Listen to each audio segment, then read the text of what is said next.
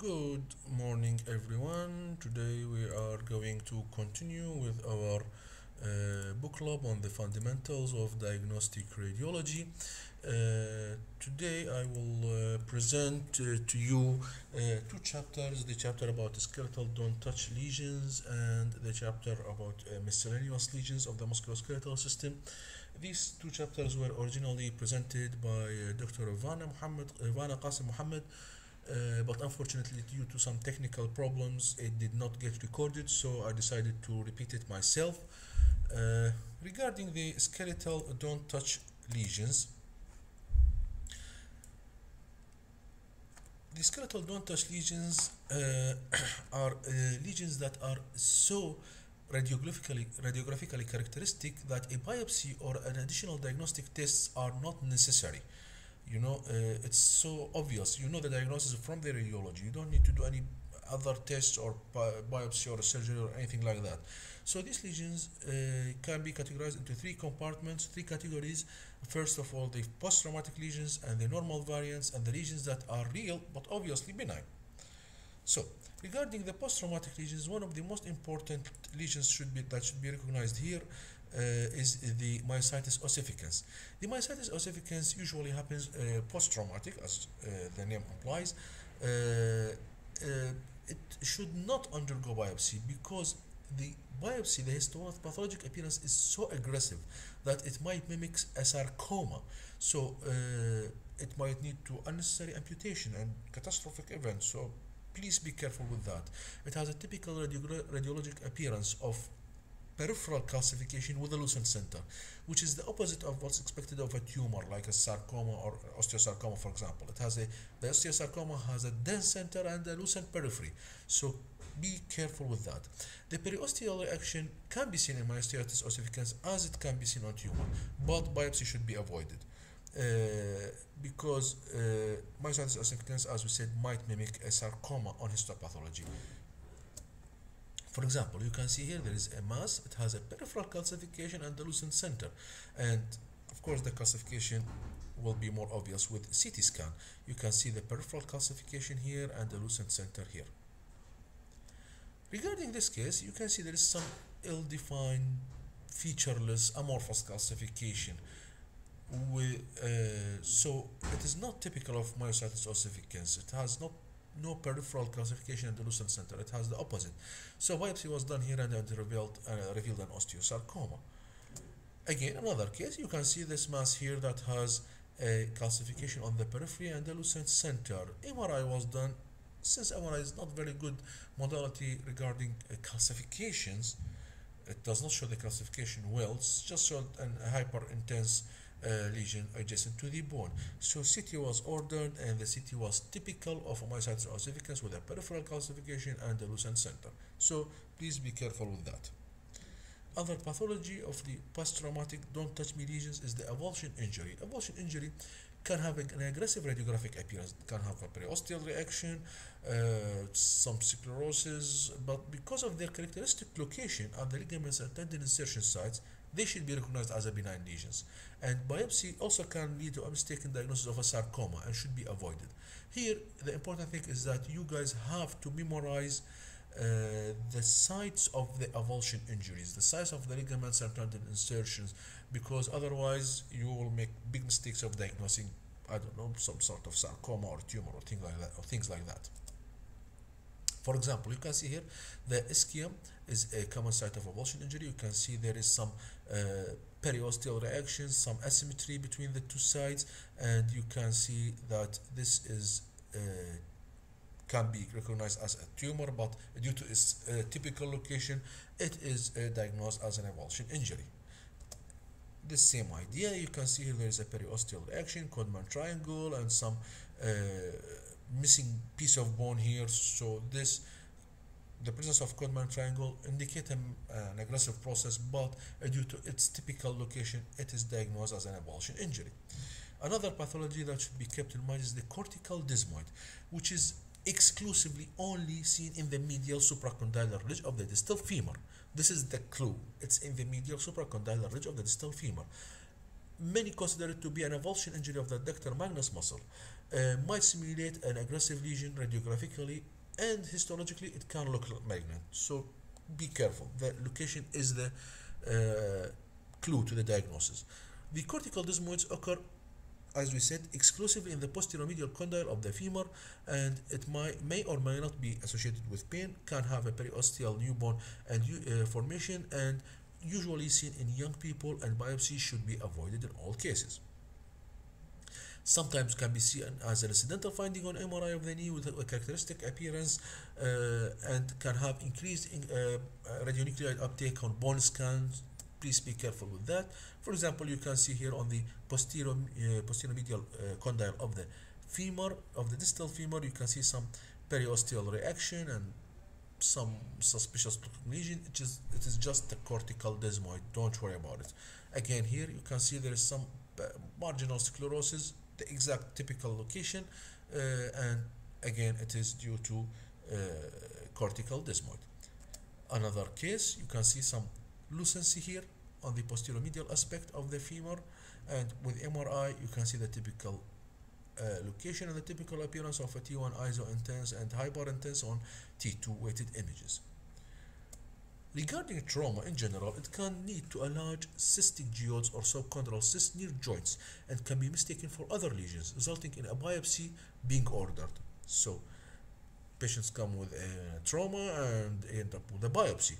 And because the geodes from a degenerative disease almost always associate with additional findings due to degenerative joint disease like joint space narrowing, sclerosis, osteophytes, so the diagnosis should be made radiographically you can see the geode associated with osteoarthritic changes like osteophytes, joint space narrowing, sclerosis, things like that. Keep in mind that these are associated together, the geodes and the, the, the degenerative changes. Also, geodes can be seen in calcium pyrophosphate dihydrate crystal disease, the rheumatoid arthritis, and, the, and, and, and in avascular necrosis. For example, you can see here this lytic abnormality, lytic lesion defect, and you can see there is a, a lucent, uh, a loose, sorry, uh, there is an intraarticular loose body with some uh, osteophytes seen indicating geode. This is a geode with degenerative joint disease. Another example you can see here the subchondral geode the cyst here and here and if you look carefully you can see the osteophytes here and there and you can see a line of osteophyte at the typical location of degenerative uh, joint disorder an entity that should be uh, remembered is what's called discogenic vertebral sclerosis, which is confused often with metastatic disease of the spine. Uh, it's most often sclerotic, usually focal, always adjacent to an end plate. It's associated, associated with disc space narrowing. Osteophytosis is almost always present. In fact, it's just a small nodule, a small nodule uh, in, in association with uh, osteophytosis of the spine. So it should not be confused with, with a metastatic focus. On occasions it can be lytic or even mixed lytic and sclerotic. So in the setting of this disc space narrowing, osteophytosis, focal sclerosis adjacent to an end plate should not undergo biopsy as just a discogenic vertebral sclerosis. You can see here in this example, there is a joint space narrowing and and the plate sclerosis here and there, and it's just a discogenic vertebral sclerosis. It's not a malignant lesion, no biopsy should be done. Regarding fractures, fractures will uh, will be the cause of extensive osteosclerosis and periostitis. That's periosteal reaction, we mean by that. So it can mimic a primary bone tumor. You can see osteosclerosis, uh, uh, periostitis resembling a primary bone tumor. So the lack of immobilization will result in big exuberant callus, which can be misinterpreted as an aggressive periostitis or even a newborn. You might think of it. So biopsy in such cases might resemble a malignant lesion again. So you should not do a biopsy in cases of a fracture. For example, you can see here there is an abnormal exuberant periosteal reaction okay everywhere here and there it is very suspicious for an osteosarcoma for example it looks like some sort of aggressive appearance. However if you look carefully you can see there is a slipped femoral epiphysis here. You can see this slipped femoral epiphysis. It's a sort of Salter-Harris fracture. So Salter-Harris fracture once recognized then the cause of the periosteal reaction is known and no need to do any biopsy in these cases Something called pseudo dislocation of the humerus should be recognized and uh, properly diagnosed radio radiographically. It is a, a result in a fracture with hemarthrosis. When there is hemarthrosis in the shoulder joint, almost always there is a fracture will result in distension of the joint capsule and this will lead to migration of the humeral head inferiorly okay when you do an axial transscapular view it, uh, there, it will show that there is no anterior or posterior dislocation. It's just inferiorly subluxation of the humeral head. As we said almost always there is a fracture uh, and if it's not seen on the initial films it should be looked for uh, in the additional views. The transscapular axial views is the key to making the diagnosis of pseudo dislocation if necessary the joint can be aspirated to confirm the presence of blood effusion and when you aspirate the joint usually the, the humeral head will return back to its position as the fluid is removed. As in this case for example you can see if the humeral head looks inferiorly migrated it's not very well aligned. It's just uh, you, when you do uh, the additional view you can see that the humeral head is in fact in place this is the glenoid process and this is the humeral head. It is not anteriorly not posteriorly dislocated so it's just hemarthrosis. And if you look carefully you can see the fracture here uh, as the cause of the hemarthrosis of the shoulder joint. The second category that should be dealt with and recognized is the normal variance. For example there is something called dorsal defect of the patella, which is a normal variant. Described in the patella, can be mistaken for a pathologic process. Uh, it is a lytic defect in the upper outer quadrant of the patella. The location is the key uh, finding here. The upper outer quadrant can mimic focus of infection or osteochondritis dissecans. It can be a norm. It is a normal developmental anomaly. However, because of its characteristic location, it should not undergo biopsy. On MRI, it can have an appearance similar to many bony lesions, like uh, which is uh, low on T1 and hyper, and high signal intensity on T2 weighted images. For example, you can see here, this is the patella, and on the upper outer quadrant, there is a focal lytic lesion, that is a dorsal defect. On the sunrise views or the skyline views, you can see the defect here, and it is a normal variant, normal developmental anomaly, should not undergo biopsy. On the MRI, you can see the defect here. It's very obvious. It's hypo on T1 and hyper on T2 like we said. There is something called pseudocyst of the humerus. Pseudocyst of the humerus is another entity that should uh, not uh, be confused with lytic pathologic lesions. It's merely an anatomic variant caused by increased cancellous bone at the region of the greater tuberosity of the humerus that gives this region more lucent appearance on radiographs. With hyperemia and disuse, caused by rotator cuff problems, for example, or any other shoulder abnormality, this area of lucency might appear strikingly more lucent and might might mimic a lytic bone lesion.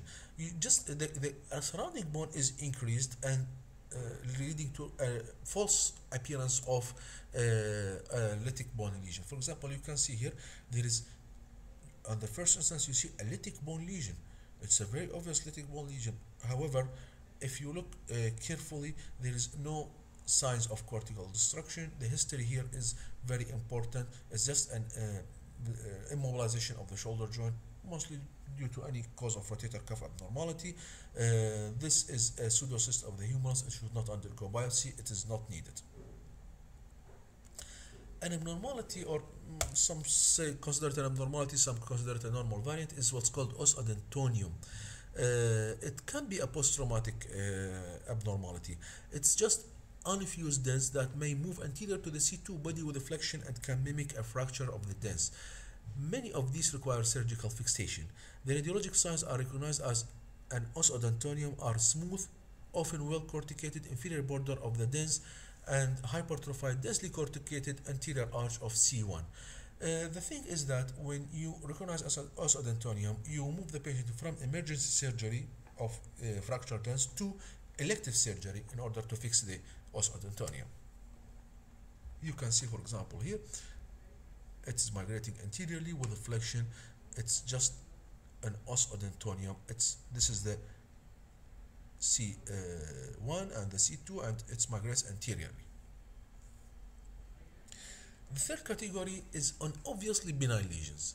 First of all, the non-ossifying fibroma, which is in fact just a big fibrous cortical defect. When the when it's less than two centimeter, it's called fibrous cortical defect. When it is more than two centimeter, it's called non-ossifying fibroma.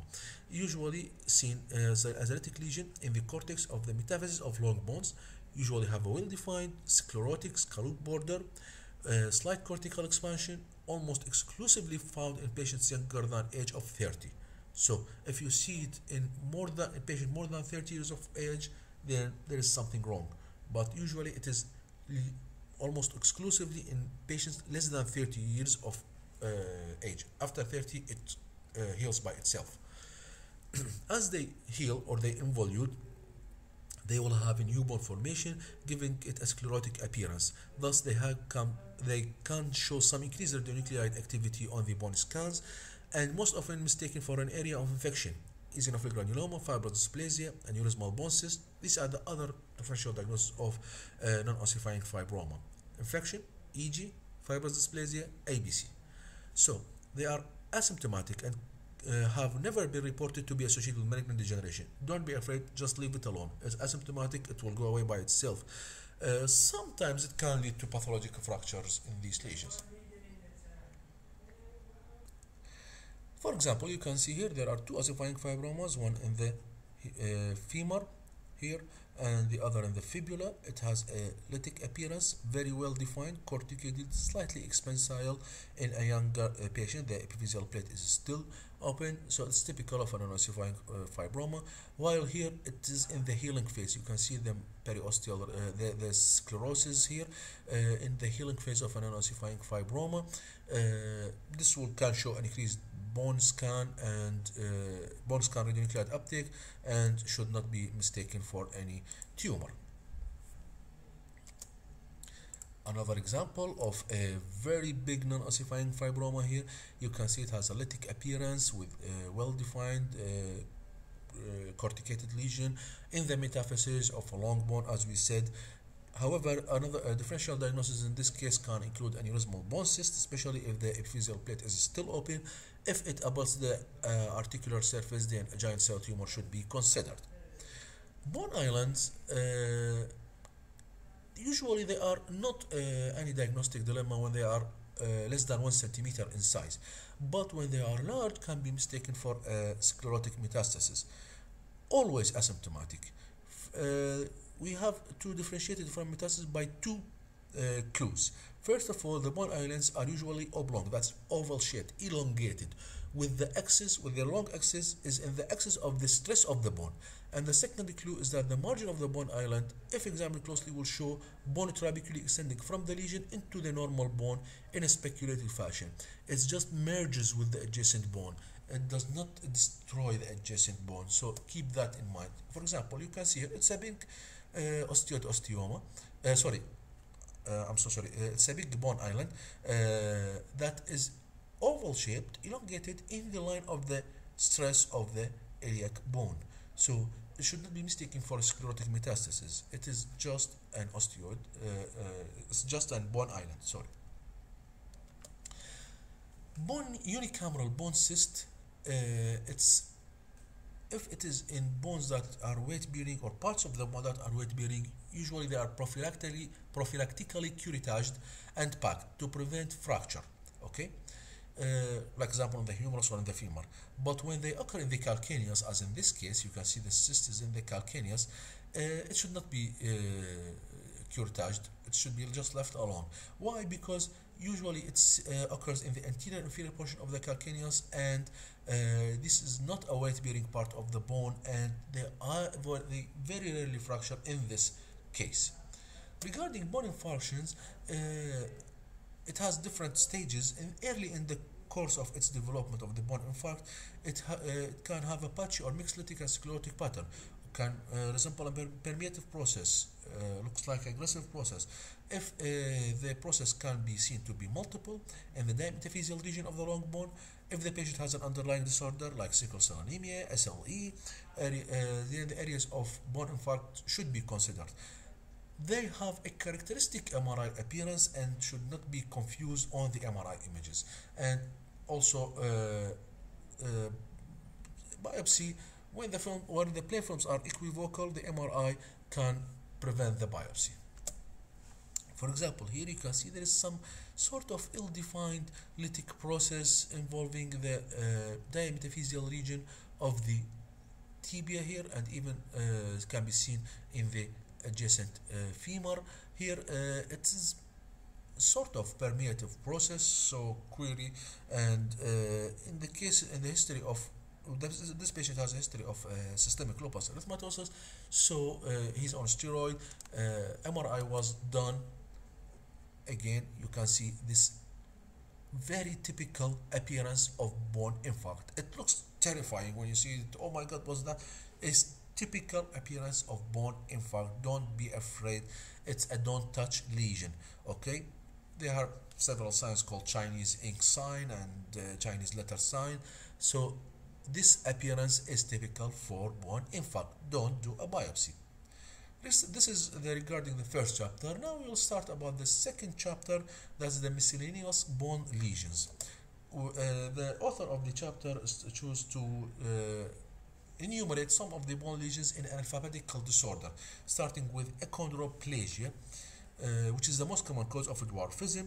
It's a congenital hereditary disease uh, due to failure of enchondral bone formation. Something important to notice here is that the femurs and the humeri are more profoundly affected than the other long bones. The entire skeleton is abnormal, but mostly is the femur and the humerus. So uh, characteristically, it, uh, it you should look for the spine. The interpedicular distance will decrease in a caudal direction, while normally it increases in caudal direction. In the achondroplasia, it decreases in caudal direction. The long bones, the long bones have a normal width, giving them a thick appearance. You can see here the interpedicular distance decreases as you go caudally. As you go to the, towards the feet, the interpedicular distance is decreasing. This is very suggestive of achondroplasia. Uh, and you can see the flaring of the iliac wings here and there, and you can see the uh, what's called champagne glass deformity here. Uh, so this is typical findings of achondroplasia. The long bones they are short uh, with normal width, giving them a thick appearance. Another pathology is the avascular necrosis or osteonecrosis. Uh, it is uh, an osteonecrosis due to interruption of blood supply resulting in bone death and then bone collapse in an articular surface. The radiographic appearance ranges from patchy sclerosis to articular surface collapse and fragmentation. Just before collapse, will, you will see a subchondral lucency. Occasionally, it can be seen, not always, sometimes. However, this is a late and inconstant findings of uh, avascular necrosis.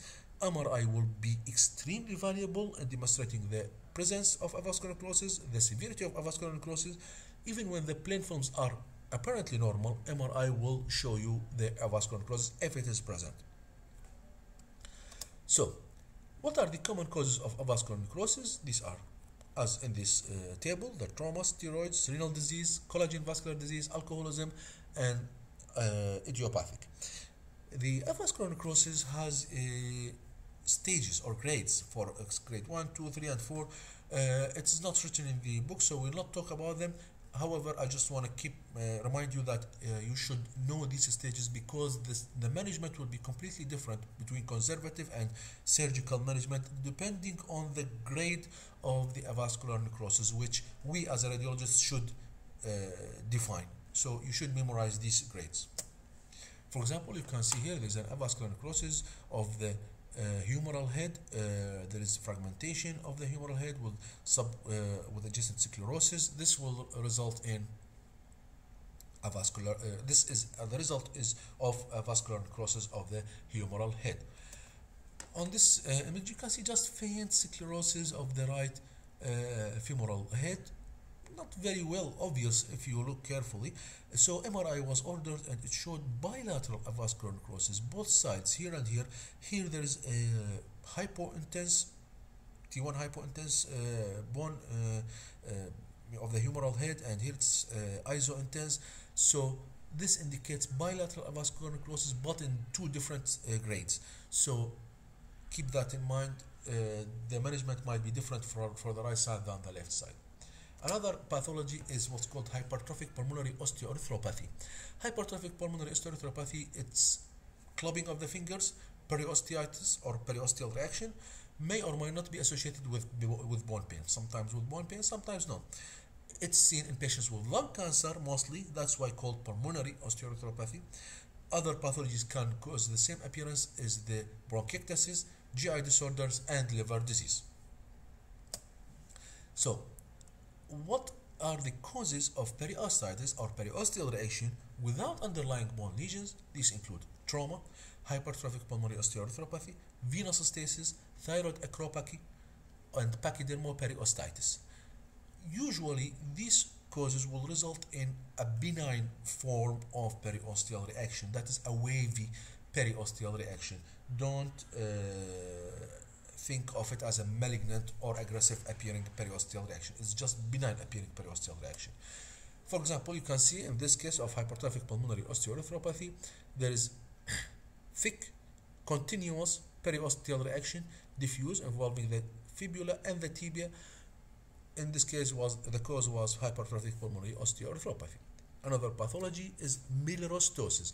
Melorheostosis is a rare idiopathic disorder characterized by thickening of the cortical new bone that accumulates near the end of long bones.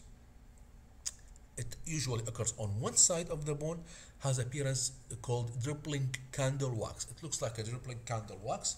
It can affect several adjacent bones and can be symptomatic.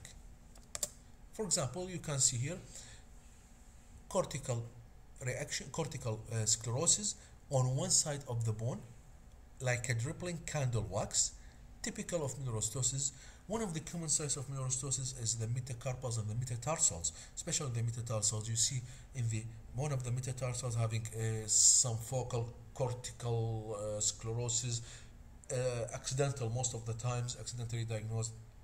Keep in mind it can be a focal melorheostosis. Another very important pathology to know about is the mucopolysaccharidosis. Uh, there are a lot of different types of mucopolysaccharidosis. The important ones are, and the most common ones are Morquio, Hurler, and Hunter syndromes. So they are a group of inherited diseases characterized by abnormal storage and excretion of the urine of various mucopolysaccharides uh, like keratan sulfate in Morquio and heparan sulfate in Hurler.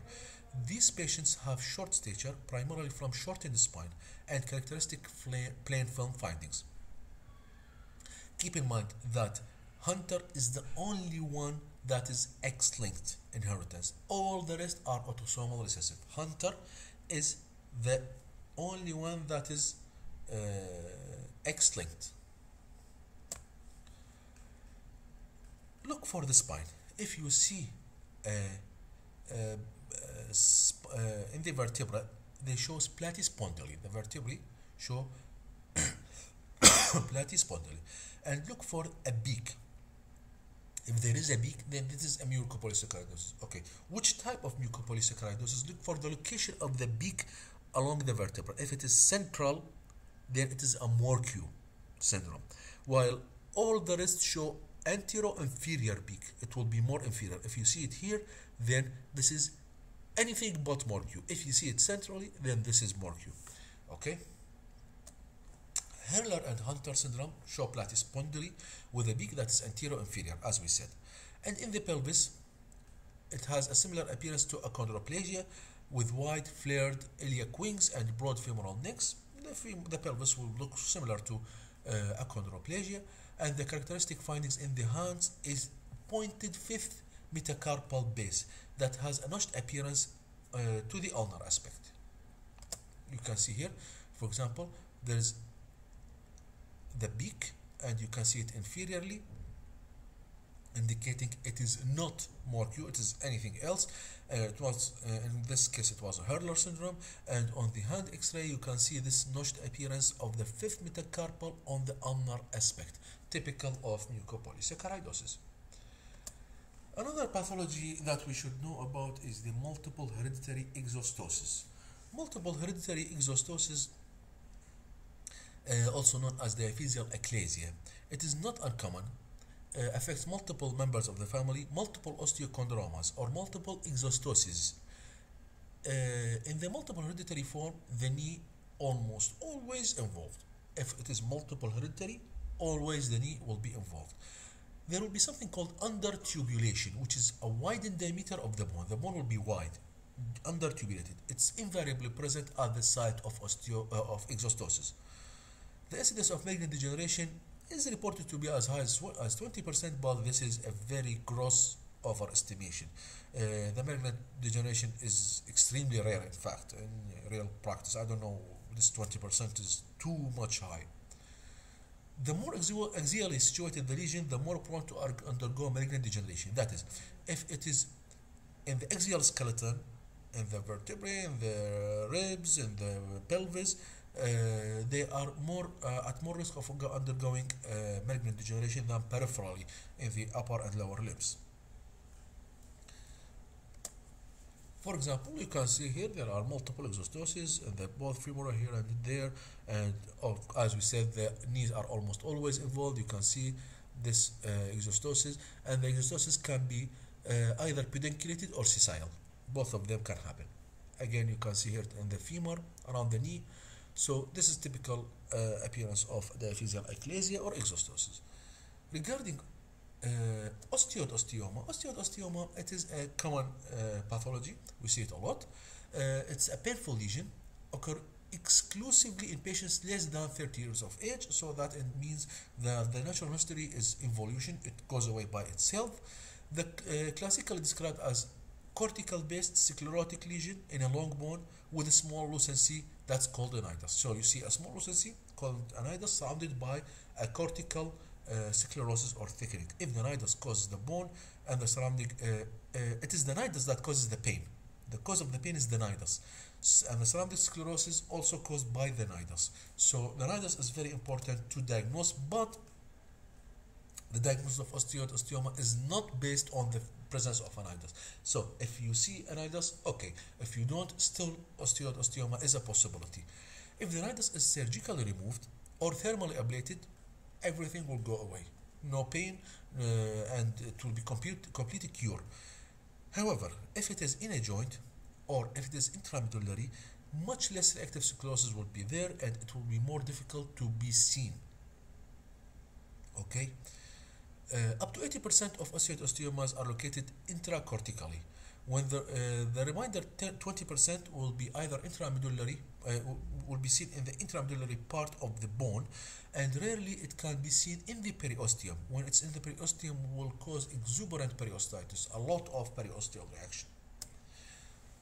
so the nidus itself is usually lucent. It often develops a tiny bit of calcification within the nidus, in the nidus. It has the appearance of a sequestrum, uh, as seen in osteomyelitis. So should, you should be careful not to confuse uh, osteoid osteoma with uh, osteomyelitis. If the nidus calcifies completely, it will blend with the surrounding sclerosis and cannot be seen on most radiographs. Therefore, you know, uh, uh, that's we said. That's why we said that osteoid osteoma is not diagnosed by the presence of an nidus. If you see it, okay. If you don't, it can be osteoid osteoma. Okay.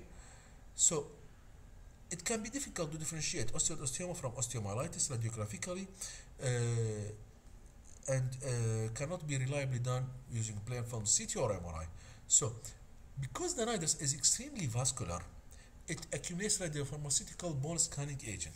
So, if you are, if you did the X-ray, you did the CT, you did MRI, you did not diagnose osteoid osteoma, and you are still suspecting osteoid osteoma, to differentiate it from osteomyelitis, order a bone scan. The nidus is very vascular; it will accumulate bone.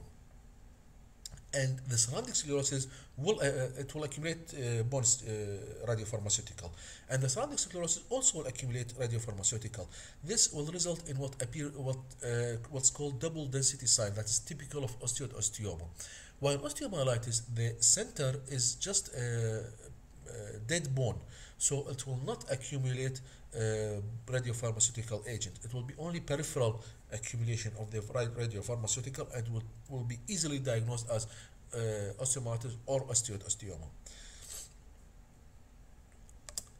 So, for example, in this case, you can see there is a cortical sclerosis here in a young patient. The uh, epiphyses, uh, the growth plates are still open, and if you look carefully, you can see a very faint lucent lesion that is typical of osteoid osteoma. CT scan was ordered, and you see the, nidus here, and surrounding sclerosis very obvious. consistent with the diagnosis of osteoid osteoma. Again here, you can see there is just a cortical thickening. There is no nidus here. It's not seen clearly. So bone scan was ordered and you can see the double density sign. There is the nidus, it's highly vascular. The surrounding sclerosis also accumulates radiopharmaceutical agent resulting in double density sign typical for osteoid osteoma and when the when it's excised surgically x-ray was done and within the excised specimen you can see the sclerosis with a central lucency that is the osteoid osteoma uh, a pathology that we might uh, face every now and then is what's called osteopathia striata. It is manifested by multiple 2 to 3 millimeter thick linear bands of sclerotic bone aligned parallel to the long axis of the bone. It is usually affecting multiple bones, asymptomatic, usually an incidental finding. You just see some linear thick cortical bands along the bone. Incidental finding, it's asymptomatic uh, that is osteo uh, that's osteopathia striata. Another pathology is what's called osteopoikilosis. Osteopoikilosis is just multiple bone islands. It's asymptomatic, okay? It's an incidental finding.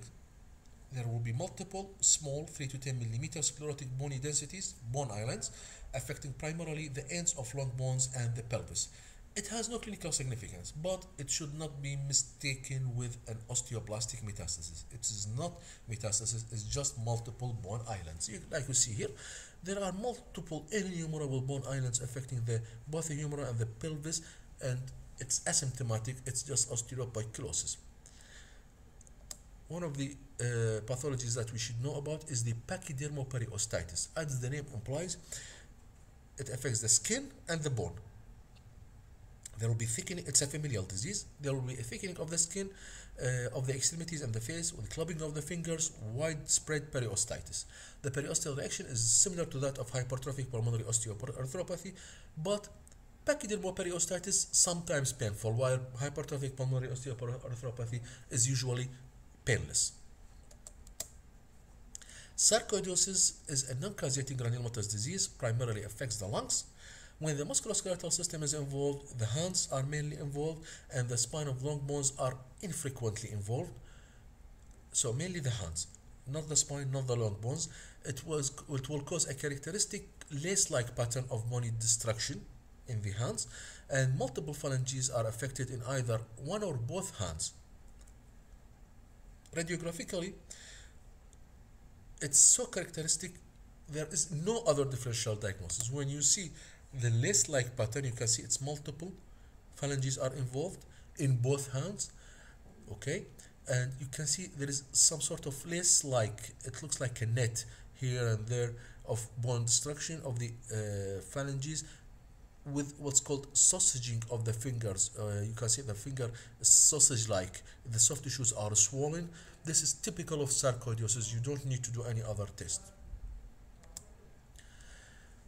Regarding what's called transient osteoporosis of the hip, also known as idiopathic transient osteoporosis of the hip, it's a poorly understood disorder. Idiopathic process begins with a painful hip, no underlying disorder. Other findings, uh, with no other findings, just osteoporosis. With the osteoporosis being only seen in the involved hip, and this osteoporosis is painful. So you see osteoporosis in a hip that is transient and painful with no other pathology.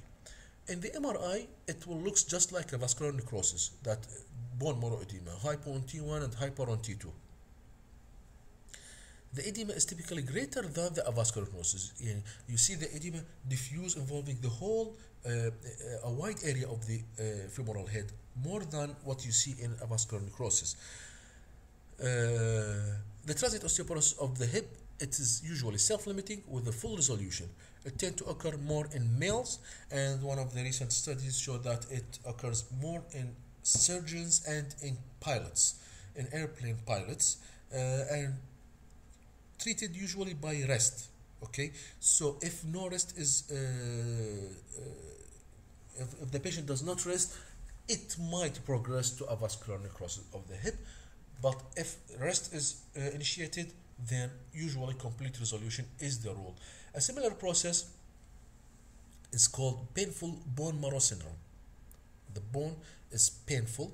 Uh, the bone marrow is painful. It looks like just like idiopathic transient osteoporosis of the hip, but affects other locations like you, most commonly the medial condyle also can occur in the lateral condyle and the proximal tibia adjacent to the joint uh, also can be seen in the knee uh, in, in, the distal clavicle in the ankle uh, can involve several different locations over time or simultaneously yani it can be affecting one place at a, some time and other place at the other time or can affect multiple places at the same time uh, when uh, this happens it's called regional migratory osteoporosis. That is today is the hip tomorrow is the knee later is the uh, clavicle and so on.